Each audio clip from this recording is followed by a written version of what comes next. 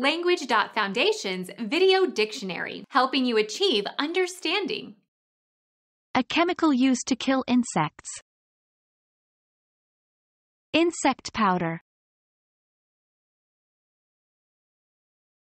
Become our student and get access to effective and free educational materials. Subscribe to our channel to become a part of our growing community and to learn English effectively.